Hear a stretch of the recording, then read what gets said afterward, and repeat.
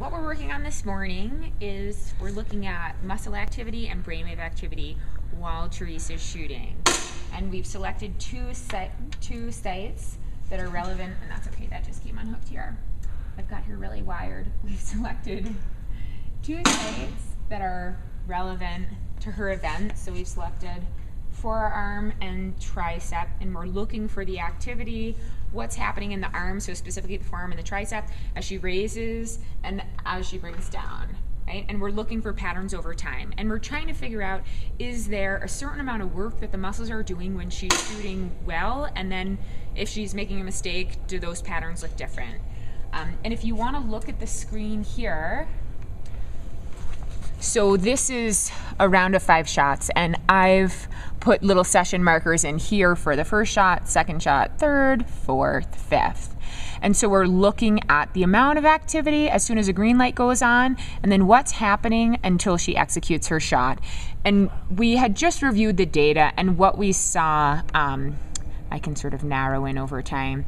What we saw was that the third shot was actually the best, and the third shot has sort of the most consistent muscle activity from the green light turning on to Teresa executing her shot. So we're sort of creating this first draft hypothesis that there's this this certain amount of muscle activity that the forearm and the tricep are doing. We've just we've defined this zone, and so we're going to see if we're replicating that now before we say, hey, you should spend some time training this. We want to see if that was a fluke finding or if that mm-hmm. really yeah. is something that you experience. And when you were sort of reviewing your shots, you described like a small mistake you made, and then another time that what your you used it didn't look it didn't look right. Like the sight picture, everything's supposed to come up and break and look nice. Mm-hmm. When it breaks, it doesn't always happen that way. The third shot did happen that way, but the other ones didn't. And there's a range where, you know, it might not look perfect, but it'll be a good shot. Mm-hmm. Um, and then there's, you know, once you're out of that range, it can be something else. So that's what we were looking at. The first two shots weren't within that range. The last three shots were within the range, and the third shot looked great and broke with very little um, very it was effort. There was effort there, but yeah. it just happened the way it was supposed to happen. Yeah. So this efficiency that she's describing, we're trying to define efficiency with numbers, um, so that we can, you know, replicate that. And then another thing we're looking at is EEG activity, which is brainwave activity. Um, and let me just switch to another screen so you can see this better. This will just take me a second. So there's a bunch of research studies that say that um, shooters have this specific thing that happens in their brain um, when they're shooting well. And it's sort of a, maybe you'd call it a quiet time. Um, one interpretation is it's a lack of self-instruction or analysis. And at this level maybe you know beginners should be talking to themselves instructing themselves saying okay do this don't do that. But once you're an expert you really shouldn't be doing that anymore. You should just everything should be pretty automatic and you should just be able to perform. yeah exactly perform. And but like teresa said you know there are times where you have to make little little you know corrections in your technique but so what we're looking at is the alpha band. Um, and so this is the alpha band, yeah, and it's set for 8 to 12 hertz. So her neurons are firing 8 to 12 times per second in this area uh, sort of underneath her oh no it's right here. It's in the left temporal lobe but anyways. So what when we're reviewing her shots like she just said the third shot was the best. So again we have one two three four five. And if we take our little session marker and we look at so the first time she raises her the green light goes on and if we look at alpha and we're waiting, she's waiting, she's waiting. Alpha goes up to six, and then she fires. Well, hmm, okay, the first shot wasn't her best. Let's look at her second. Green light goes on, there's some alpha. Alpha bursts there, it comes down, and then it bursts, and then it comes down, and then it bursts, and then it bursts, and then she shoots. And Teresa said on that shot, you were sort of like. I made a mistake. I was readjusting. Right. So, and then, okay, here's the third shot. And she said this one was the best. So the green light goes, and Alpha's pretty quiet. And then right before she goes to shoot, it bursts and she executes her shot. So it looks like this hmm. pattern for Teresa is alpha sort of bursts right at the time when she's about to shoot, not before during this hold period or when you're setting your sight or It's the the rest in between and you're coming up, so it's your glide into the target. Mm-hmm. So when you're when you start to pick up your sights, I could see my mind being more active because I'm picking up the sights and the trigger's moving, and then it breaks.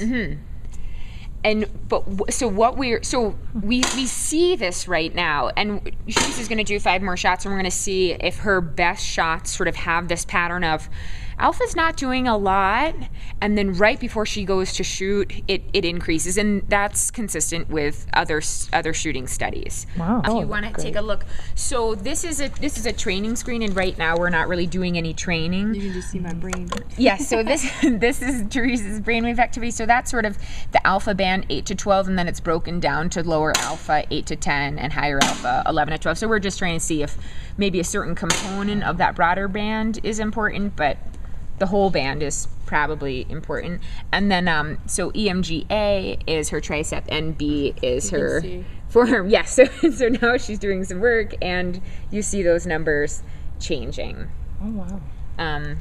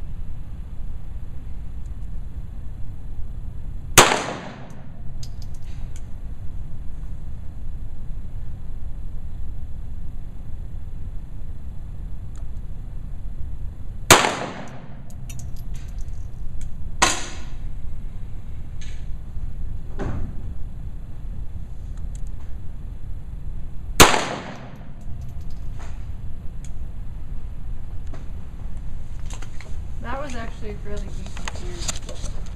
you said that was fairly decent Yeah. okay I so mean, if you look at this, that's a reflection. This, my sights weren't perfectly aligned. Mhm. Like it was over to the left side a little bit. Um, so I stayed with the recovery a little bit longer on that shot. It was the middle shot this Okay. time. So 10.4, 10.1, 9.7. I'll put this in. The last two 10.4. shots, Yeah. they were pretty good. 9.7. And what were the last two? 10.7. 10.7. And the timing was all really good. Mm-hmm. So the range with what I want to break is anywhere from 2.4 to 2.8 seconds. So every one of these shots is within that range. So this was a good series for me. Okay.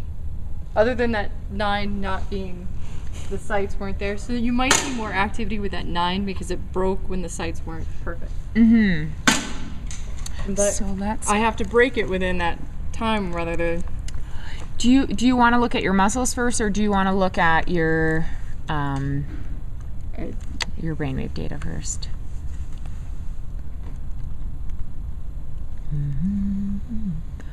And that last shot, I didn't feel as fatigued. It felt strong. So remember the first one? The last shot felt Yes. fatigued. Yes. That's interesting. So let's EEG alpha. There we go. So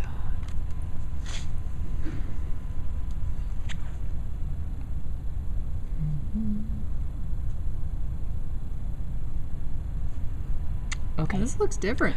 Oh, oh, that I just used a different screen. Oh, Okay. So here's your session, right? And so that was that sort of first, this is the first sort of minute you getting things organized. And then that's one, two, three, four, five shots. Wow. So let's. That looks really consistent. Except for Yeah. remember the first one, like when I first start, there's a lot more effort on that first shot. Yes. So I'll zoom in so we can have a better idea. So that's five, four, three. Okay, so this is one, right? Two, one. Yeah. Okay. Yeah, that okay. and that matched. Look, mm-hmm. the the tricep and the forearm Yes. activity are it's Good. Wow. Ha. better see right and last time there was more there was more variability and so this is so you raise your arm and we see everything is pretty well between this 50 microvolts and 100 microvolts right Yeah. and the forearm's pretty steady and your tricep you know sort of engages and then relaxes a tiny bit but not a ton and then Yeah. you put your gun down and then your a is triceps. So then your triceps relax, your forearm is engaged, you raise, right? Yep. This has a slightly different pattern when the green light goes off compared to this. Okay. Do you see that? Just see how that purple line? Yeah, I see how it flips up. I see that. So, and then, so that's, here's the third, right? And so here you have a little bit less forearm activation. But, mm-hmm. and overall, look at, look at this. So this, we see this pattern of a decreasing amount of forearm activation and sort of that sort of steady of the tricep, just sort of interesting. Yeah. And you said your fourth and your fifth shots were the best? They were pretty good. Okay. So this is the fourth and this is the fifth. So again, you're sort of Huh. Under this, you're between the 50 and 100 microvolt range. Let me, um, I'll undo auto scale. So it's using less. yeah, so let's, let's see, let's see if that's true. So this is the fifth, so three, four, five. So I am having more tricep there. Yeah, and that's that, and that's what we saw on the Last last shot before Yeah, but the tricep was was even more elevated. than this. Yeah. Okay. But I think this looks good, like really good in terms of consistency. Yeah, Right? yeah. Like on the first one, you said there was. Well, we'll look at them all across time. So that's one, two, three, four, five. Yes. Your first and your second, there's a little bit more variability. Like, see how up and down that purple line, Yeah. that forearm line is. But see how it's pretty tight here, especially there and there. Yeah. And it's even maybe slightly lower on the fifth one. But and, and we're seeing this pattern of the tricep working a little bit more. And maybe that was just like a function of you warming up the first time. Like Yeah. I don't know. we don't know. But those those were you said those were good, right? Yes. Like you're happy with Yeah, 10.7. they were the the third shot. I mean, it, it broke nice. It the sights weren't in the right Mm-hmm. spot. I called it over to the left. All those shots were on call. Okay. They were they were where I put them. It's I mean, they broke the way they were supposed to break. The sights just weren't aligned on the third shot. Got it. Okay, so good- so here's so good. The, the muscle is sort of what what we thought we wanted to see, and so here we are looking at alpha and mm-hmm. theta again, and here's your one, two, three, four, five shots. So let's take the session marker and we'll go to the first shot. So the green light's on. There's a little burst and it comes down. And you go to shoot and it goes up to seven. And then that little blip is just the muscle artifact. Okay. Um, Probably Okay. handling the recoil. yeah, exactly. And I, I think I was a little bit slow to hit that that space bar there. On the third one, I think I was right on. Um, okay, so we see so again, so there's some increase in alpha right after the green light goes off. Mm-hmm. And I mean, that's when I have to activate. yeah, and that's your brain also sort of re- rewards yourself. Like when you look at pilots, when pilots perform really challenging tasks, so the task is over, and then the brain does a little reward. And I'm wondering if it's just like, okay, that the light has become a signal to you to like, okay, it's like time, Time to, to get go. ready. yeah, and and we've observed this on a number of them. So I think that's just your brain like sort of saying, okay, now's the time. But so you're you know under four, under two, and then it bursts up almost to eight and then it's down. Okay, so let's look at the second shot. So our green light turn, here's a green light's on. We see a little bit of an alpha burst. Your, whoop, there's a burst. Down and it's coming up. That was that was a fire. So that's interesting. On the second shot, you had like a little bit. Your brain was like, "Okay, we're ready," And then there was this time, Boom. yeah, up to seven. Okay, good. And then whatever you're waiting, your green light comes on, a little bit of an alpha like reward. It comes down. You're getting ready. Alpha burst, alpha burst a little bit again. And you go to shoot. It's at six. Yep. That's the one where the sights weren't right. Yeah, and I. So I wonder. So maybe maybe six, like this six microvolts. Maybe it's not high enough. So maybe you shoot better when it's closer to eight, which is what it's been at other. But let, like you said, the fourth and the fifth are really good, right? Yeah. So here we go. Green light. Okay. You're waiting. You're waiting. Six, seven, eight, nine. Oh. Wow. Okay, good. So maybe not, maybe it's nine microvolts, right? Let's see if that happened in the fifth one again. So your green light goes off, and a little burst, quiet, eight, burst, quiet. Hmm, That maybe that was it. So, Or maybe it's between seven and nine, right? So like the more we do this, the more refined we can be about what When it what is breaks. good for you. Um, that this last shot actually it broke really nice. Mm-hmm. It did. Like remember I said the third shot? yeah. That was I mean everything was aligned and it broke the way it was supposed to break. Yeah. And I just and I held it because it looked nice. Mm-hmm.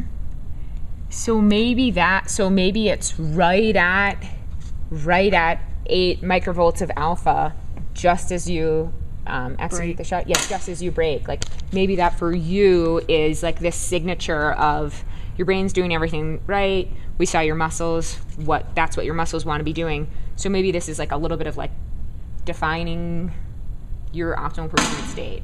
Yeah, maybe. And it, what this is just ten shots. Like we, we should Right. do more before we try to conclude anything. Right. But it's you know potentially interesting, and it's good that we see consistent muscle activation patterns. Mm-hmm. Which again, if you were a novice or an intermediate, there would be more more variability. variability. But you're not, and we see pretty consistent alpha wave activation, Yeah, good. which is good. So that's what we're doing today. Nice.